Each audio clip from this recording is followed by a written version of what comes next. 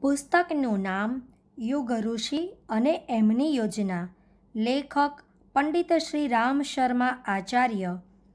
વ્યક્તિ નિર્માણનો અર્થ વ્યક્તિત્વનું નિર્માણ.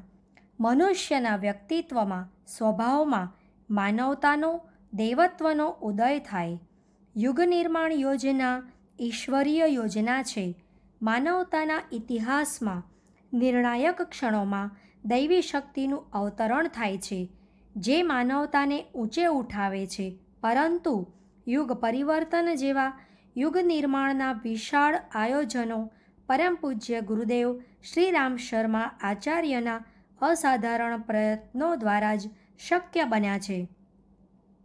આપણે વેદમૂર્તિ સાથે જોડાયેલા છીએ. આપણી અંદર વેદ એટલે કે જ્ઞાનનું સ્તર વધતું રહેવું જોઈએ. એમણે ઉજ્જવલ ભવિષ્ય માટે જે દિવ્ય જ્ઞાનની ધારાને પ્રવાહિત કરી છે, તેને આપણે વેદદૂત, સત્પરામર્શદાતા બનીને આપણી સંપર્કના દરેક વ્યક્તિ સુધી તેમની આવશ્યકતાને અનુરૂપ જ્ઞાનનો સંદેશ પહોંચાડવામાં સમર્થ હોવા જોઈએ. આપણે તપોનિષ્ઠ સાથે જોડાયેલા છીએ.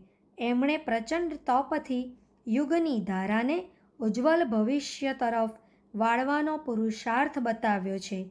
આપણે એટલું તપ જરૂર કરીએ, જેથી આપણું અને આપણા સ્નેહીજનોના ચરિત્રને બહેતરીન બનાવીએ. સદવાક્ય, યુગ ઋષિની જન્મ શતાબ્દી મનાવવાનો ઉત્સાહ એમના સ્નેહબંધનમાં બંધાયેલા દરેક પરિજનના મનમાં છલકાઈ રહ્યો છે. પરંતુ આ ઉત્સાહની દિશાધારાની એને અનુરૂપ સાધન સામર્થ્યની સમીક્ષા કરવાની સાથે એની સમુચિત વ્યવસ્થા પણ કરવી પડશે. યુગ ઋષિ દ્વારા પ્રસ્તુત સૂત્રોને કુશળતાપૂર્વક સર્વસુલભ બનાવવાની આપણી ક્ષમતા અને પ્રયાસો વધારીને યુગ નિર્માણની પ્રચંડ લહેર ઊભી કરી શકાય છે.